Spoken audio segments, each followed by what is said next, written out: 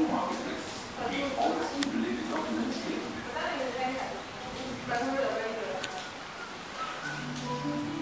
हम इसके शॉप के लिए इंडिया